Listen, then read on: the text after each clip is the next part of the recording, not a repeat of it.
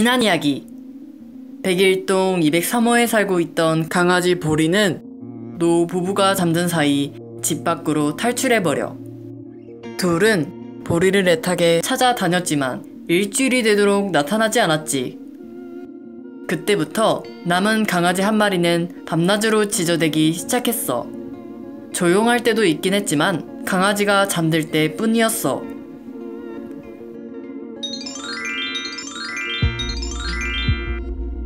시계바늘이 오후 7시를 가리키자 도어락문을 여는 소리가 들리기 시작했어. 문을 열고 파란 조끼를 입은 남자가 그늘이 잔뜩 낀 얼굴로 들어왔어. 아내는 남편을 보고 말했어. 평소보다 일찍 왔네? 음, 오늘은 택배 물량이 별로 없었거든. 목요일이 좀 덜 바쁜가 봐. 저번 주에도 이 시간에 왔잖아. 응, 보통 그런 편이래 형님들이. 나 씻는다. 남편이 나오자 아내도 이 닦아야지 하며 소파를 짚고 일어났지. 이를 닦고 나오니 남자가 한 손에 리모컨을 들고 TV를 보고 있었어. 매주 일요일 아침마다 하는 동물 프로그램의 재방송이었지. 누군가가 인터넷으로 구매한 화살촉을 새총으로 쏴서 고양이 머리를 관통시킨 내용이었어. 뇌와 신경을 비켜나간 덕분에 생명엔 지장이 없었지만 파열된 눈 위를 덮던 살이 구멍을 메워 마치 윙크를 하는 것처럼 보였지. 탁! 윽! 딴 거 보자! 나 임신한 거 까먹었어! 아내는 거실불을 끄며 남편에게 말했어. 어, 그래, 너무 잔인하겠다, 너한테. 멍하니 TV를 보고 있던 남편은 채널을 돌리다 다시 윙크하는 고양이 화면을 띄웠고 말을 이어나갔어. 배송단이다 보면 저렇게 생긴 고양이들이 한둘이 아니더라. 다 버려진 고양이들이라나? 불쌍해라. 여자는 화면을 쳐다보며 말했어. 아, 맞다. 저기 밤낮으로 개가 지저대는 집 있잖아. 백일동 203호. 오늘 집 나간 강아지가 아파트 단지에 나타났다더라? 누가 그래? 남자는 약간 놀란 표정을 보였지만 그에겐 남의 집 개 말고도 신경 써야 할 일이 많았기에 건성으로 대답했어. 4개월 뒤엔 아내가 아들 도다미를 낳을 예정이고 자기 자신도 새로 구한 택배원 업무에 빨리 적응해야 했거든. 아내는 대답했어. 옆집 아줌마가 엘리베이터 타다 들었어. 아줌마가 아파트 입주자 대표라 단지 대소사를 다 알고 있더라고. 오늘 낮에 아파트 주차장에서 떠돌고 있는 보리를 보자마자 동물보호연대에 연락했대.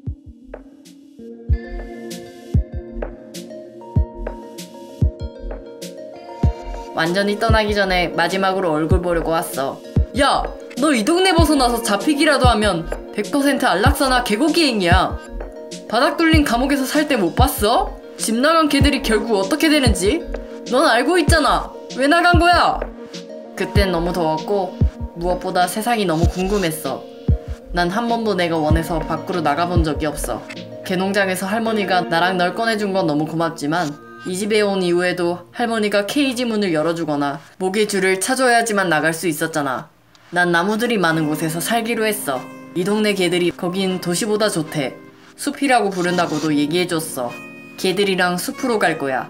너랑 인사하고 나면 바로 떠날 거야. 바보야! 평생 가차만 살던 개들이 밖에서 어떻게 살 수 있다고 그래? 왜 나간 거야? 왜 나간 거야? 203호 강아지가 뒷걸음질 치며 보리의 뒤편을 향해 짖기 시작했어. 보리가 고개를 돌리자 옆에서 포획망을 들고 다가오는 동물보호연대 사람들이 보이지 뭐야? 보리는 너무 놀라 짖지도 못하고 숨을 멈추다가 보호연대가 없는 곳으로 도망치기 시작했지. 어이구, 오늘 아파트가 한바탕 난리였겠네.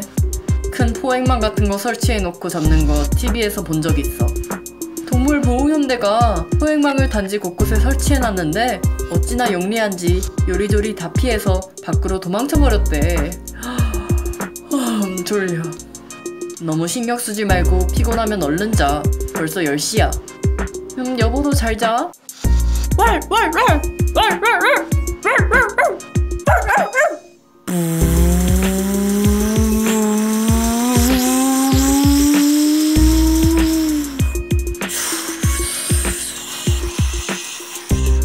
12시가 다 된 한밤 남자는 잠에서 깨어났어. 도저히 잠을 잘 수가 없었지. 백일동 203호에서 울리는 개 짖는 소리. 아파트 옆 도로를 질주하는 오토바이 소리.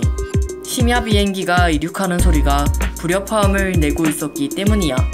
그는 이 소리를 녹음해 유튜브에 올린다면 최소 싫어요 천 개를 받을 게 분명할 소리라고 생각하며 아침까지 잠을 설쳤단다.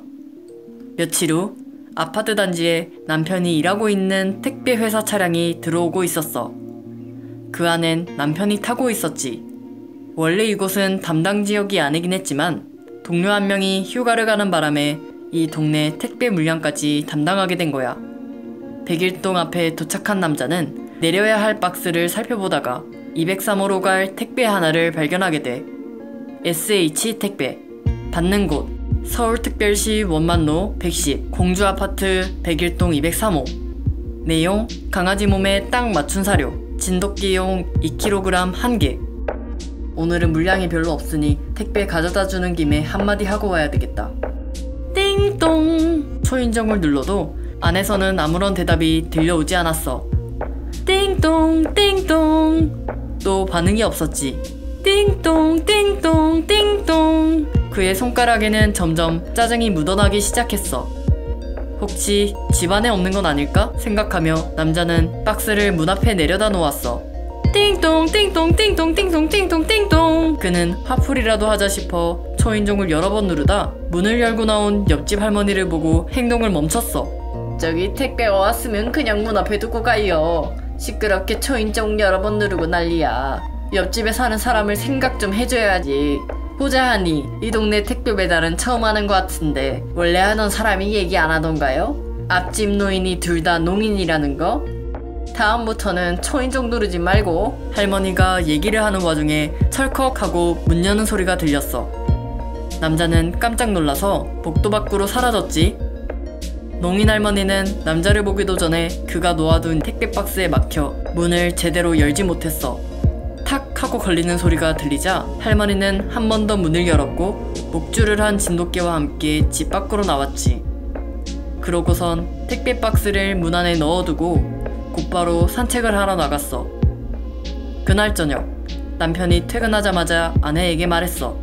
백일동 203호개가 성대가 나갈 때까지 지저대도 주인이 가만히 있는 이유를 알아냈어. 이유가 뭔데? 203호 노부부가 농인이래. 귀가 안 들리는 거지. 오늘 퇴근하면서 곰곰이 생각해봤는데 저대로 놔두면 안 될 것 같아. 강아지 성대 제거 수술이라도 시켜야 하지 않을까? 여보가 내일 옆집 아주머니한테 한번 얘기해보면 안 돼? 주민들끼리 천 원이라도 모아서 성대 제거 수술 시켜주자고. 주인이 귀가 안 들리니까 상황의 심각성을 전혀 못 느끼잖아. 주인이 농인인데 수술을 시킬까? 그건 물어봐야 알 일이지. 민원을 계속 넣는데도 시정이 안 되면 이사를 가거나 성대 제거를 시키거나 둘 중 하나라도 해야지. 남편은 평소답지 않게 단호하게 말했어. 알았어. 내일 물어보기는 할게. 다음날 낮, 아내가 옆집에 사는 입주민 대표 아주머니에게 얘기를 전달하자 할머니가 매일 산책 나가는 오전 10시가 되면 찾아가서 의견을 물어보겠다고 했어. 그때 아니고선 할머니를 잘 볼 수 없기 때문이지. 아내의 예상대로 노부부는 강아지 목에 절대 칼을 대지 않겠다고 말했어.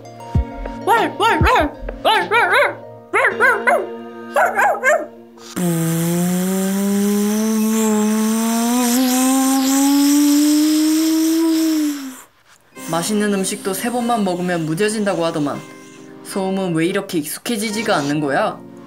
잠을 설치던 그는 결국 참지 못하고 아내 몰래 거실로 나갔어. 거실 서랍장에는 새총과 화살촉이 있었지. TV 프로그램에서 봤던 화살촉이었어. 그는 새총과 화살촉을 꺼내들어 203호를 향해 힘껏 당겨 쏴버렸어. 쨍그랑! 그리고 낑낑대는 소리. 남자는 생각했어. 저놈의 주인들은 개가 죽는지도 모른 채 자고 있겠지? 다음날 아침 물류센터로 가기 위해 화물차에 올라타려는 순간 누군가가 어깨를 잡는 느낌이 들었어. 혹시나 해서 뒤를 돌아보니 김태규 씨 재물손괴죄와 동물학대 혐의로 체포합니다. 당신은 묵비권을 행사할 수 있고 당신이 하는 말은 법정에서 불리하게 작용할 수 있으며 당신은 변호인을 선임할 권리가 있습니다. 헉! 태규는 놀라서 침대에서 벌떡 일어났어. 베란다로 나가봤더니 203호 창문은 깨지지 않았고 서랍에는 화살촉도 새총도 없었어. 휴, 별 꿈을 다 꾸네. 진짜 같았어 정말.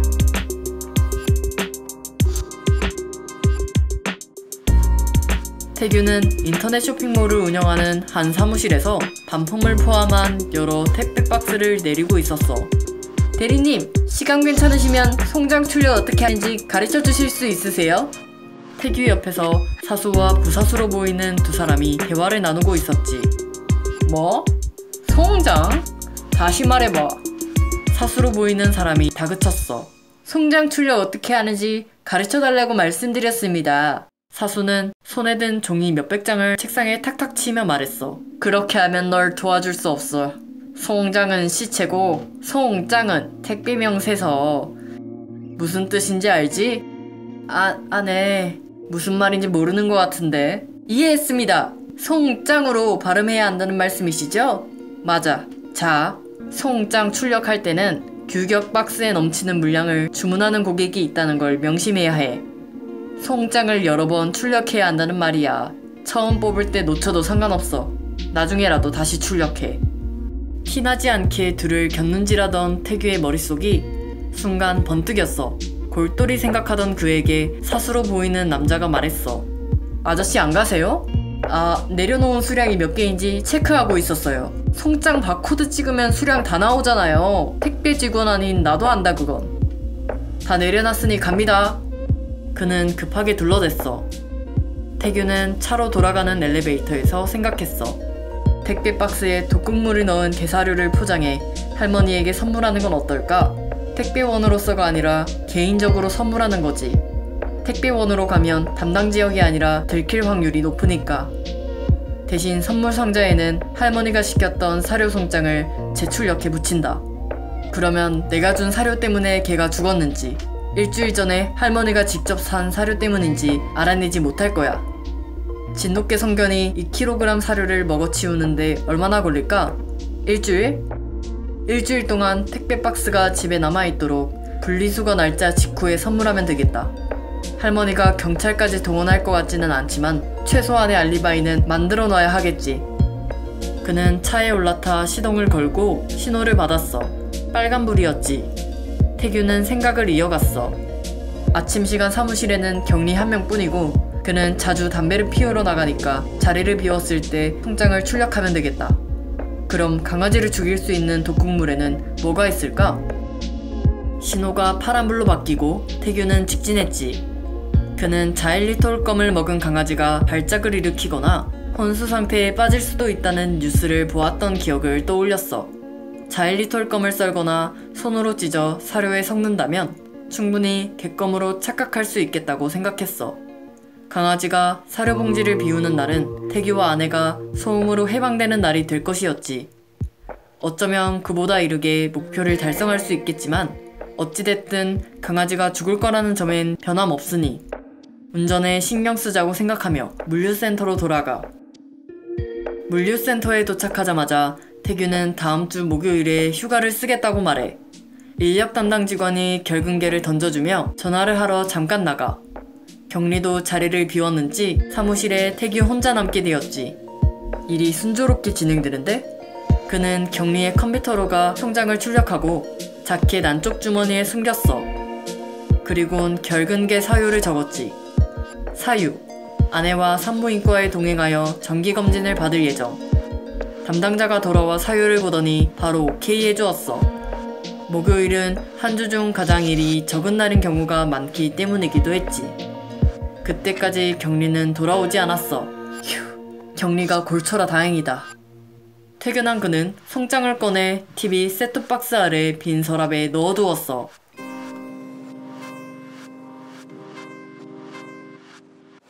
목요일이 되었고 태규 부부는 산부인과에 정기검진을 가기 위해 준비하고 있었지. 아내가 머리를 말리는 사이 그는 서랍 안에 숨겨둔 택배 박스를 들고 밖으로 나왔어. 203호 할머니가 항상 산책을 나오는 시간인 오전 10시였지. 할머니 안녕하세요! 203호 할머니를 발견한 태규는 허리를 힘껏 숙여 인사해. 누구? 그는 203호 할머니의 얼굴을 한 번도 본 적 없지만 이 시간에 백일동에서 진돗개를 끌고 나온 유일한 할머니였기 때문에 누군지 단번에 알아챌 수 있었어. 그렇지만 인사가 너무 깍듯했지. 할머니는 그를 본 적이 없을 텐데 말이야. 전 동네 이웃이에요. 저번에 집 나간 강아지를 찾는다는 전단지를 보고 안부도 물을 겸 선물 하나 드리려고 왔어요.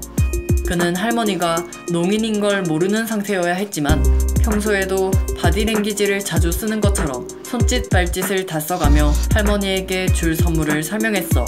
다행히 할머니는 강아지를 위한 선물이라는 걸 알아들은 듯 했어. 태규는 통장이 붙지 않은 반대편을 열어 박스 안에 든 서류를 보여줬어. 마치 새 상품인 것 마냥. 우리 이 친구가 잘 먹는 긴데 어찌 알고 사왔노? 할머니가 화색이 되어 그를 쳐다봐. 태규는 태연한 척했지만 속으로 침을 꼴깍 삼켰어. 몇 동몇호 사는겨? 받기만 해서 되겠나?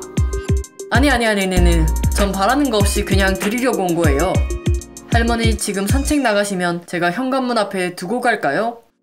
잘 못 알아들으시는 할머니를 위해 또다시 열심히 손짓 발짓으로 설명한 그는 할머니의 허락을 받고 택배를 놓고 왔단다. 집으로 돌아온 그는 뭐하다 왔냐며 툴툴거리는 아내에게 미안하다고 사과한 뒤 산부인과로 떠났어. 아참 근데 그 양반이 내가 203호 사는지 우째 단번에 알았을거? 할머니는 의아해하며 친구와 아파트 단지를 빠져나가 산책을 갔어. 할머니는 태규가 생각한 것 이상으로 면밀한 성격일지도 몰랐지. 일주일이 지나고 8월 마지막 주가 되자 날이 쌀쌀해지기 시작했어. 집집마다 더위와 소음을 견뎌가며 열어놓았던 창문들을 조금씩 닫기 시작했지. 매미 소리도 점점 잦아들었단다. 203호에서 울리던 개 짖는 소리도 점차 들리지 않다가 갑자기 아예 멈춰버렸어. 창문을 닫은 탓인지 진짜 개가 짖지 않게 된 건지는 알 수 없었어. 며칠 후 아내가 옆집 아주머니에게 들은 이야기를 들려주었어. 203호 강아지가 갑자기 죽어버렸대. 이유가 뭔지 알아? 할머니 집에 놀러온 손자가 초콜릿을 개한테 먹였대. 사료 그릇에 초콜릿 자국이 묻어 있었던 거지. 자기 딸에는 간식으로 주려고 했겠지만 아이가 뭘 알겠어. 강아지에게 초콜릿은 독이라는 걸. 아이가 충격받을까봐 가족들이 진구 죽은 걸 비밀로 붙이고 급하게 장례식을 치렀다고 해. 할머니는 건강이 급격히 나빠졌고 할아버지는 말은 씩씩하게 해도 할머니 못지않게 상심이 커 보인다고 하더라. 태규는 속으로 생각했어. 진짜 죽어버리다니. 그것도 가족이 먹인 독으로. 가여운 것. 개를 죽이기 위한 그의 노력은 결국 헛수고가 되었지만 더 이상 개 짖는 소리를 듣지 않아도 된다는 점은 마음에 들었어. 아내가 이어 말했지. 여보, 그나저나 이번 여름은 에어컨 없이 잘 보내긴 했지만 우리 도담이 태어나면 중고라도 하나 사는 게 어떨까? 태규가 대답해. 그러자 내년부터는 에어컨 달고 창문 꼭 닫고 살자. 동네 개미새끼 한 마리 지나다니는 소리 안 들리도록 나랑 여보랑 우리 도담이 셋이서만 조용하게 살아보자고.